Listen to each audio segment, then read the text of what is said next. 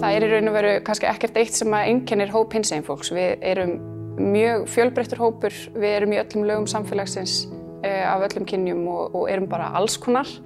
Um, en eitt af því sem að einkennir okkur er að við erum mjög útsett fyrir kynferðsóbeldi. Rannsóknir sína að 48% hinsegin fólks hefur orðið fyrir kynferðsóbeldi uh, og það er töluvert hærra heldur hjá öðrum hópum og þess vegna er mjög mikilvægt að, að átta sig á því að hinsegin fólk hefur mjög margt áfallasög á baki akkurat í þessum málflokki. Það fyrsta sem er hægt að gera til þess að láta hinsegin fólki líða velkomið er að hafa regnbúafánan sínilegan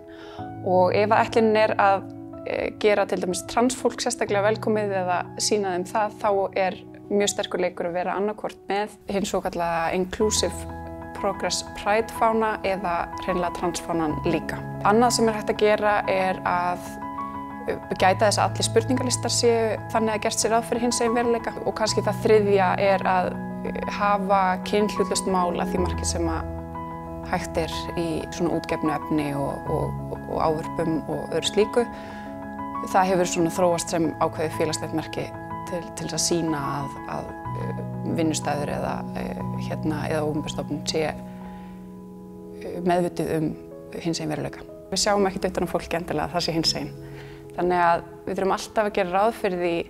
í raun og veru að, að fólk geti verið hins einn. Og, og þess vegna er mjög gott að tilengja sér að spyrja til dæmis mjög óbyrna spurninga, gera ekki ráð fyrir ákveðnu fjölskylduminstri eða ákveðnu kynfólks.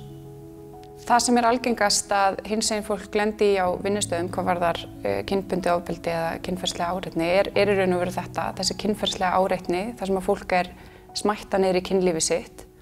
uh, og það í raun og veru ge gerist algjörlega óháði hvaða, hvaða hópum hins einn fólks uh, fólk tilherir.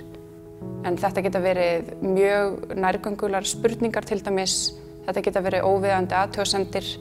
Þetta geta líka verið, getur verið ákveði markaleysi til dæmis kakvar pársambandum uh, tveggja kvenna og svona má lengi að framtælja. Það sem að hins eginn fólk verður líka fyrir, uh, sérstaklega fólk sem vinnur í þjónustustörfum er að þau verða fyrir, uh, fyrir áreitni frá, frá viðskiptuvinnum, ekki síður heldur en samstagsfélögum. Það er mjög mikilvægt að kynna sér veruleika hins eginn fólks til þess að geta tekið á móti hins eginn fólki án þess að einhvern veginn ómeðvitað bæta uh, fordómum ofan á, það sem að hins eginn fólk hefur, hefur upplegað nú þegar og svo minn ég líka á að ráðgjafaþjónusta samtakana 78 stendur öllum opinn og þar eru fagmyndarraðgjafar sem að geta líka uh, veitt öðrum fagaðalum ráðgjöf og ykkur að kostnaðalösu.